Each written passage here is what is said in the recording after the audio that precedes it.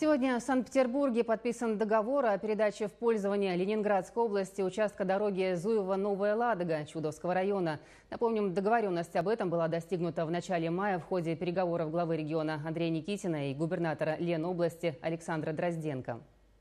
В течение 10 дней будут подписаны акты приемки передачи, после чего право на содержание ремонт трассы перейдет к новому пользователю Лен Автодору.